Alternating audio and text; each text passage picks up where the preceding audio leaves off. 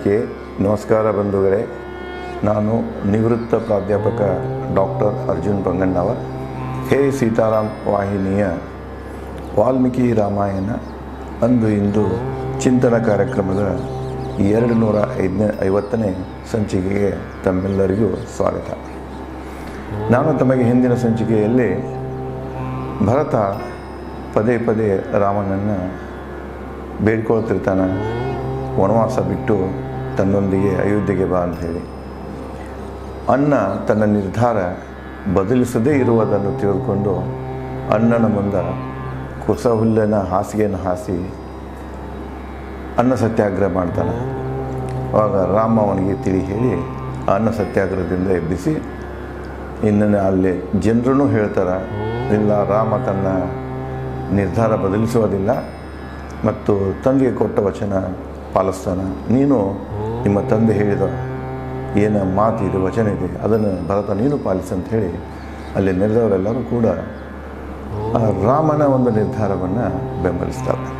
ಮುಂದೆ ಅದೇ ಸಂದರ್ಭದಲ್ಲಿ ಆ ಜನರ ಮಧ್ಯೆ, ಋಷಿಮುನಿಗಳ ಮಧ್ಯೆ ವಾಲ್ಮೀಕಿಯವರು ಕೂಡ ಇರ್ತಾರೆ. ವಾಲ್ಮೀಕಿಯವರು ರಾಮ ಮತ್ತು ಭರತನ ಮಧ್ಯದಲ್ಲಿ ನಡೆದಂಥ ಸಂವಾದಗಳನ್ನು ಸಂವಾದಗಳನ್ನು ಇಡೀ ಮನಸ್ಸುಗೊಟ್ಟು ಕೇಳ್ತಿರ್ತಾರೆ.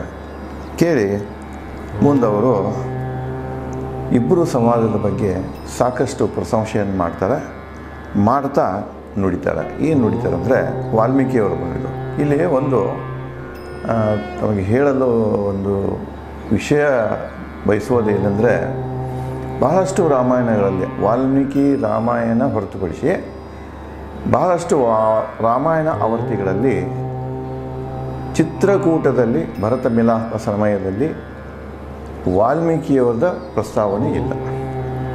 ಅವರು ಎಲ್ಲಿ ತೋರುವುದಿಲ್ಲ ವಾಲ್ಮೀಕಿ ಮತ್ತು ರಾಮನಿಗೆ ಭೇಟಿ? ಬಾಲಕಂಡದವಾಗಿರ್ತದ ನಡುವಾಗಿರ್ತದ, ಚಿತ್ರಕೂಟಕ್ಕೆ ಅವರ ಇದಕ್ಕೆ ಬಂದಾಗ ಇವ್ರದ್ದು ಇದರಲ್ಲಿ ವಸ್ತು ಇರ್ತಾರೆ ಅವರು. ಇಷ್ಟೆಲ್ಲ ಅಲ್ಲೇ ಪದೇ ಪದೇ ವಾಲ್ಮೀಕಿ ಜೊತೆಗೆ, ಮಹರ್ಷಿ ವಾಲ್ಮೀಕಿ ಜೊತೆಗೆ ಅವರ ಏನೊಂದು ಒಡನಾಟ ಇರ್ತದ.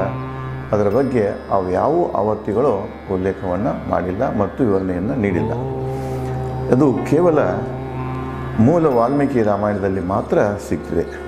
ಅದಕ್ಕೆ ವಾಲ್ಮೀಕಿಯವರು ಇಬ್ಬರದ್ದು ಸಂವಾದಗಳನ್ನು ಕೇಳ್ತಾರೆ, ಕೇಳಿ ಈ ರೀತಿಯಾಗಿ ಹೇಳ್ತಾರೆ, ಧರ್ಮ, ನ್ಯಾಯ, ನಿಷ್ಠೆ, ಬೆಲ್ಲ ಇಂತಹ ಮಕ್ಕಳನ್ನು ಪಡೆದ ದಶರಥ ಧನ್ಯ. ಭರತನು ರಾಮನಷ್ಟೇ ಧರ್ಮನಿಷ್ಠೆಯನ್ನು ಹೊಂದಿದ್ದ. ರಾಮ ಭರತನಷ್ಟೇ ಧರ್ಮನಿಷ್ಠೆಯನ್ನು ಹೊಂದಿದೆ. ಇಬ್ಬರಲ್ಲಿ ಏನೂ ಒಂದು ವ್ಯತ್ಯಾಸವನ್ನು ಮಾಡಲಿಕ್ಕೆ ಸಾಧ್ಯ ಇಲ್ಲ. ಅದಕ್ಕೆ ಇಬ್ಬರು ಸಂವಾದ ಇಬ್ಬರು ಒಂದು ವಾದ ವಿವಾದಗಳನ್ನು ಮನವರಿಕೆ ಮಾಡಿಕೊಡುವಂತಹ ಅವರ ಒಂದು ನಡೆನುಡಿಗಳನ್ನು ನೋಡಿ ವಾಲ್ಮೀಕಿಯವರು ಹೇಳ್ತಾರೆ ನಿಮ್ಮಂಥ ಪುತ್ರರಿಗೆ ಜನ್ಮ ಕೊಟ್ಟಂಥ ನಿಮ್ಮ ತಂದೆ ದಶರಥ ಧನ್ಯನು ಅಂತ ಹೇಳ್ತಾರೆ. ಇವಾಗ ನೋಡ್ತೇನೆ ಮಕ್ಕಳು ಒಳ್ಳೆ ಕೆಲಸ ಮಾಡಿದ್ರಂದ್ರೆ ಮೊದಲು ಪ್ರಶಂಸೆ ಯಾರಿಗೆ ಬರ್ತದಂದ್ರೆ ತಂದೆ ತಾಯಿಗೆ ಬರ್ತದೆ. ಜನರಿಗೆ ಬೇಕಾಗುವಂಥ ನೀವು ಒಳ್ಳೆಯ ಕೆಲಸ ಮಾಡಿದ್ದು ಅನ್ನೋ ನಿಮಿಷ ಏನಪ್ಪ ಎಂಥ ತಂದೆ ತಾಯಿ ನಿಮ್ಗೆ ಜನ್ಮ ಕೊಟ್ಟಾರು?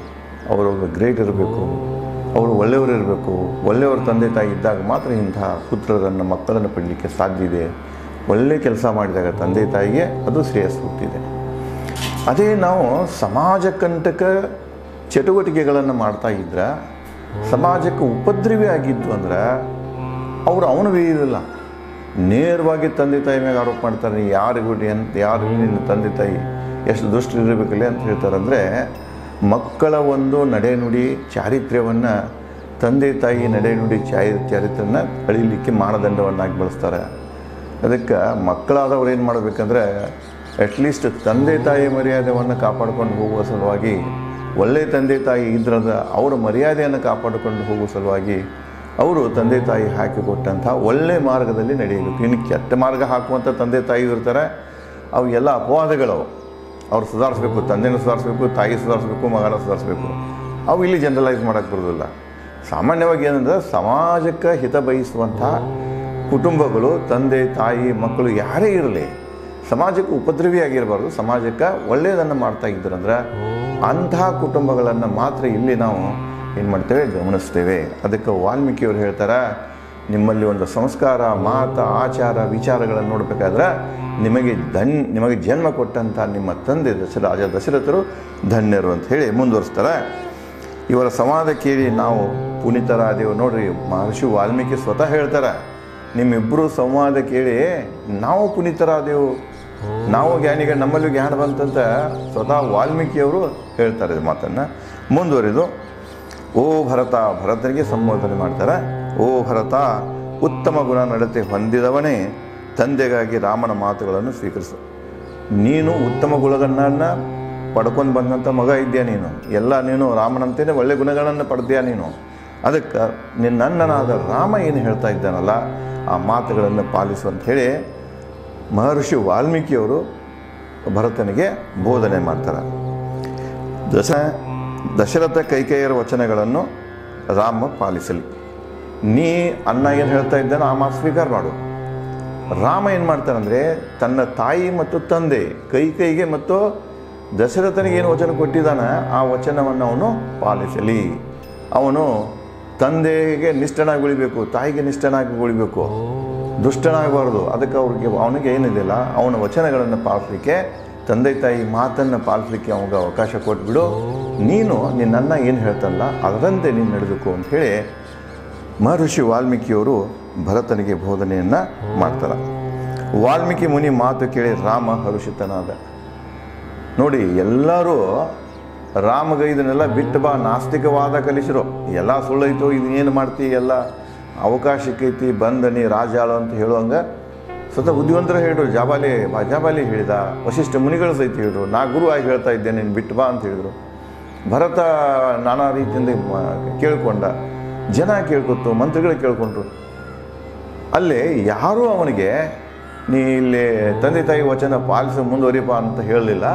ಇದನ್ನೆಲ್ಲ ಬಿಟ್ಟನ ಅಯೋಧ್ಯೆಗೆ ಬಂದರು. ಆದ್ರೆ ಮಹರ್ಷಿ ವಾಲ್ಮೀಕಿಯವರು ಮಾತ್ರ ಏಕೈಕ ವ್ಯಕ್ತಿ. ರಾಮ ಹೇಳ್ತಾರೆ, ನಿನ್ನ ತಂದೆ ತಾಯಿ ವಚನ ನೀನು ಪಾಲಿಸೋ. ಭರತನಿಗೆ ಹೇಳ್ತಾರೆ ನಿಮ್ಮ ಅಣ್ಣ ಏನು ಹೇಳ್ತಾ ಇದ್ದಾನ ರಾಮ? ಆ ಮಾತುಗಳನ್ನು ಪಾಲಿಸು. ಅವರು ಹಾಕಿಕೊಟ್ಟಂತಹ ಬೋಧಿಸಿದಂಥ ಮಾರ್ಗದಲ್ಲಿ ನಡೆ ಅಂತ ಹೇಳಿ ವಾಲ್ಮೀಕಿ, ಮಹರ್ಷಿ ವಾಲ್ಮೀಕಿಯವರು ಭರತನಿಗೆ ಉಪದೇಶ ಮಾಡ್ತಾರೆ. ಅದನ್ನು ಉಪದೇಶವನ್ನು ಕೇಳಿ ರಾಮನಿಗೆ ಹರ್ಷ ಆಗ್ತಿದೆ. ಇಲ್ಲ, ನನಗೆ ವಚನ ನನ್ನ ತಂದೆ ಕೊಟ್ಟಂಥ ವಚನಗಳನ್ನು ಪಾಲಿಸೋಕ್ಕೆ ನನಗೆ ಅವಕಾಶ, ಒಬ್ಬರಾದರೂ ನನಗೆ ಸಪೋರ್ಟಿಗೆ ಇದ್ದಾರಲ್ಲ, ನನ್ನ ನಿರ್ಧಾರನ ಬೆಂಬಲಿಸ್ತಾ ಇದ್ದಾರಲ್ಲ ಅಂತ ಅವನಿಗೆ ಹರ್ಷ ಆಗ್ತಿದೆ. ನಡುಗುತ್ತಾ ತಡವರಿಸುತ್ತಾ ಭರತ ಕೈ ಮುಗಿದು ರಾಮನಿಗೆ ನುಡಿದ. ಇಷ್ಟೆಲ್ಲ ವಾಲ್ಮೀಕಿ ಅವ್ರದ್ದು ಉಪದೇಶನೂ ಕೇಳಿದ. ಭರತನಲ್ಲಿ ಇನ್ನೂ ನಡುಕ ಇತ್ತು ತಡವರ್ಸಾಕತ್ತಿದ್ದ, ಸರಿಯಾಗಿ ಮಾತು ಹೊರಗೆ ಬರದಾಗಿದ್ದು, ಮತ್ತು ತಡವರಿಸುತ್ತಾ ಅಣ್ಣನಿಗೆ ಕೇಳ್ತಾನ ಓ ರಾಮ, ಕುಲದ ಗೌರವಕ್ಕಾಗಿ ನನ್ನ ಮತ್ತು ತಾಯಂದಿರರ ಕೋರಿಕೆ ಮನಸ್ಸು ಹುಟ್ಟು ಬಿಡುವುದಿಲ್ಲ ಅಂತಂದೆ. ಕುಲದ ಗೌರವಕ್ಕಾಗಿ, ಕುಲದ ಗೌರವ ಅಂದ್ರೇನು? ಅಲ್ಲೇ ಸಾಕಷ್ಟು ಅಪಪ್ರಚಾರ ಬಿಟ್ಟಿರ್ತದ ತಂದೆ. ಒಬ್ಬ ಹೆಂಡತಿ ಮಾತು ಕೇಳ್ಕೊಂಡು, ಮಗನನ್ನು ಅರಣ್ಯ ಕಟ್ಟಿದಲ್ಲ ಅನ್ನುವಂಥ ಅಪಾದ, ಅಪಾದನೆ ದಶರಥ ಮ್ಯಾಗ ಬಂದಿರ್ತದೆ ಕೈ ಕೈ ಮ್ಯಾಗ ಬಂದಿರ್ತದೆ. ಅದಕ್ಕೆ ಅವನು ಹೇಳ್ತಾನೆ ಇಬ್ಬರ ಮ್ಯಾಗ ಒಂದು ಅಪಾದನೆ ಬಂದಿದೆಪ್ಪ, ಆರೋಪಿಗಳಾಗ್ಯಾರಲ್ವ? ಅದಕ್ಕೆ ಅವರು ಆರೋಪದಿಂದ ಮುಕ್ತ ಆಗೋ ಸಲುವಾಗಿ ಆದರೂ ಕೂಡ ನೀನು ಅಯೋಧ್ಯೆಗೆ ಮರಳು ಅನ್ನುವಂಗ ಮತ್ತು ಪುನಃ ಅವರನ್ನ ಕೇಳ್ತಾನೆ. ನಗರ ಮತ್ತು ಹಳ್ಳಿಗಳನ್ನು ನನಗೆ ಆಳಲು ಅಸಾಧ್ಯ. ಸಂಬಂಧಿಗಳು, ಸೈನ್ಯ, ಪ್ರಜೆಗಳು, ರೈತ ಮಳೆ ಮೋಡ ಕಾಯದ ಕಾಯದಂತೆ, ಕಾಯುವಂತೆ ನಿನ್ನ ಕಾಯುತ್ತಿರುವರು. ಹೇಳ್ತಾನ ದೊಡ್ಡ ಸಾಮ್ರಾಜ್ಯದ, ನನಗೆ ಆಳಕ್ಕೆ ಬರೋದಿಲ್ಲ ನಿನ್ನಲ್ಲಿರುವಂಥ ಸಾಮರ್ಥ್ಯ, ಆಳುವ ಸಾಮರ್ಥ್ಯ ಅನ್ನ ನನ್ನಲ್ಲಿಲ್ಲ. ನನಗೆ ಈ ರಾಜ್ಯ ಬೇಡ. ಅದಕ್ಕೆ ನೀ ಏನು ಮಾಡು? ಸಂಬಂಧಿಗಳು ಸೈನ್ಯ ಪ್ರಜೆಗಳು ರೈತರು ಎಲ್ಲ ಜನ ನಿನ್ನನ್ನು ಯಾವ ರೀತಿ ಮೋಡನ್ನು ಮಳೆಗಾಗಿ ಮೋಡ ಕಾಯ್ತಿರ್ತಾರಲ್ಲ ಈಗ ಬರ್ತದ ಮಾಡ ಯಾಕೆ ಬರ್ತದ ಅಂತ ಹಂಗೆ ಕಾಯಕತ್ತಾರ ನಿನಗೆ? ಅದಕ್ಕೆ ನೀನು ಅಯೋಧ್ಯೆಗೆ ನಡಿ ಅಂತ ಹೇಳ್ತಾರೆ. ಇಲ್ಲಿ ನೋಡಿ ಭರತನಿಗೆ ತಾನಾಗಿ ಒಲಿದು ಬಂದಿರ್ತದ. ತಾಯಿ ಅದ ಹೇಳಿರ್ತಾಳ ಅನ್ನ ಬಂದ್ರೆ ಅನ್ನನ್ನು ಸ್ವೀಕಾರ ಮಾಡೋದಿಲ್ಲ ಅವನಿಗೆ ಬರ್ತಿದೆ.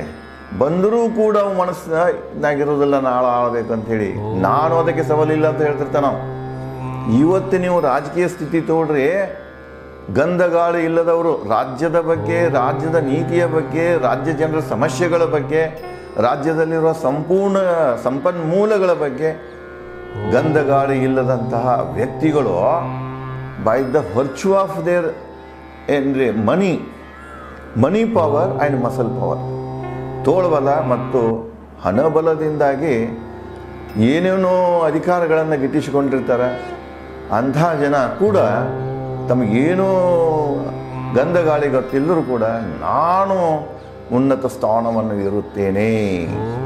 ಅದಕ್ಕೆ ಆ ಜವಾಲಿ ಪ್ರಶ್ನೆಗೆ ಉತ್ತರ ರಾಮ್ ಭಾಳ ಚಂದ ಕೊಡ್ತಾನಲ್ಲಿ ಏನು ಹೇಳ್ತಾನೆ, ನಾಸ್ತಿಕ ಮತ್ತು ಆಸ್ತಿಕವಾಡೋದು ಉತ್ತಮ ಎಕ್ಸಾಂಪಲನ್ನು ಅವಕಾಶ ಸಿಕ್ಕೈತಿ ಅದನ್ನು ಮಾಡ್ಕೊಂಡು ತಟ್ಟಾಗು, ಲಾಭ ಮಾಡ್ಕೊಂಡು ತಟ್ಟಾಗೋದು, ಇದು ನಾಸ್ತಿಕವಾದ.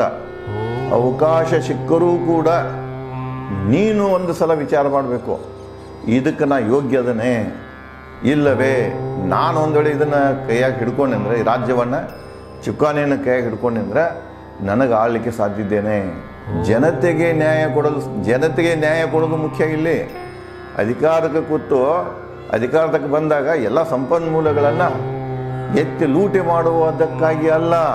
ರಾಜ್ಯ ಆಳುವುದಂದ್ರೆ ಜನಹಿತ ಕಾರ್ಯಗಳನ್ನು ಮಾಡುವ ಜನರ ನೆಮ್ಮದಿಗಾಗಿ ಮಾಡುವುದಿರ್ತದೆ ಅದಕ್ಕೆ ಇಲ್ಲಿ ಭರತ ಕೂಡ ಹೇಳ್ತಾನೆ, ನೋಡಪ್ಪ, ಆ ಯೋಗ್ಯತೆ ನನ್ನಲ್ಲಿಲ್ಲ. ಹಿಂಗೆ ಯಾರನ್ನ ಈಗಿನ ಯಾರು ಅನ್ನೋದಿಲ್ಲ. ಅಧಿಕಾರ ಬಂತ ದೌಡ ಕುರ್ಚಿ ಕೂತು ಎಲ್ಲ ರೆಡಿಯಾಗಿ ಬಂದು ಕುರ್ಚಿ ಕುರ್ಚಿ ಸಿಕ್ಕುತ್ತೋ ಇಲ್ಲಂತೆ ಆ ಕಡೆ ಈ ಕಡೆ ಜಗ್ತಿರ್ತಾರೆ. ಭರತನ ತಲೆಯಾಗ ಎಲ್ಲರೂ ಕೂಡ ಹೋಗಪ್ಪ ನೀನು ರಾಜ ಆಳಂದ್ರೂ ಸಹಿತ ನನ್ನಲ್ಲಿ ಯೋಗ್ಯತೆ ಇಲ್ಲ ಎನ್ನ ನಿನ್ನಂಗ ದೊಡ್ಡ ಸಾಮ್ರಾಜ್ಯ ಐತಿ. ಬ್ಯಾಡಪ್ಪ, ಕೈ ಮುಗಿತು ನೀನಪ್ಪ ಅಂತೇಳಿ ಕೇಳ್ತಾ ನೋಡಿ, ಹೇಗೆ ಸ್ಥಿತಿಗೆ ತ್ರೇತಾಯುಗ ಸ್ಥಿತಿ, ಮನಸ್ಥಿತಿ ಹೆಂಗಿದೆ ಸಾಮಾಜಿಕ ಮನಸ್ಥಿತಿ ಹೆಂಗಿತ್ತು ಈಗ ಹೆಂಗೈತಿ ಇದನ್ನು ಒಂದು ಕ್ಷಣ ತಿಳ್ಕೊಳ್ಬೇಕು ನಾವೆಲ್ಲ. ಮತ್ತು ಯಾರ ಅಧಿಕಾರಕ್ಕಾಗಿ ಹೋರಾಟ ಮಾಡ್ತಿರ್ತಾರ?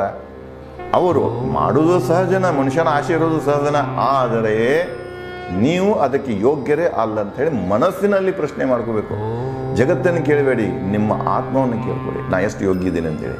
ಅವಾಗ ಮಾತ್ರ ನಿಮಗೂ ಸರಿ ಅನ್ನಿಸ್ತಿದೆ ಸಮಷ್ಟಿಗೂ ಸರಿ ಅನಿಸ್ತಿದೆ. ಇನ್ನು ಮುಂದುವರೆದ ಭರತ ರಾಮನಲ್ಲಿ ಮತ್ತೇನು ಕೇಳ್ತಾನೆ ಅನ್ನೋದನ್ನು ನಾನು ತಮಗೆ ಮುಂದಿನ ಸಂಚಿಕೆಯಲ್ಲಿ ಈ ಚಿಂತನೆಗಳನ್ನು ಹಂಚಿಕೊಳ್ಳುತ್ತೇನೆ. ಧನ್ಯವಾದಗಳು.